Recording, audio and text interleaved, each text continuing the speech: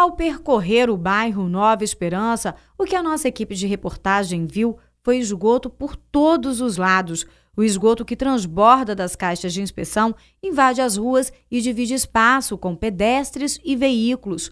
O problema vem trazendo transtornos para a população. Logo na chegada do bairro, a água suja pode ser vista escorrendo rente ao paralelepípedo. Em tempos de epidemias de doenças como dengue, zika vírus, febre chikungunya, os moradores daqui da Avenida Lagoa do Teste, no bairro Nova Esperança, ainda têm que conviver com isso daqui com esgoto a céu aberto. O odor aqui é muito forte e, segundo os próprios moradores, o problema existe há cerca de cinco meses. E aqui da noite a gente não pode nem ficar aqui. Aí vem um fedor de lama, podre, entendeu? Às vezes vai, vai lama até lá dentro da casa da gente. Isso aí é a nojeira. A nojeira, o fedor e, e, as crianças não podem brincar, não tem liberdade de brincar, porque já não tem quintal assim, né? E é a rua.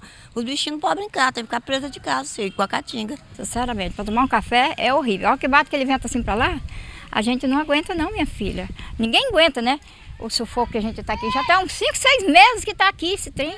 A lama pura aqui fedendo na porta. Segundo os moradores, o esgoto está transbordando pelas caixas de inspeção devido ao entupimento na rede principal.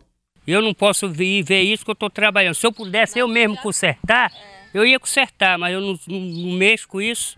É esse que tem que fazer.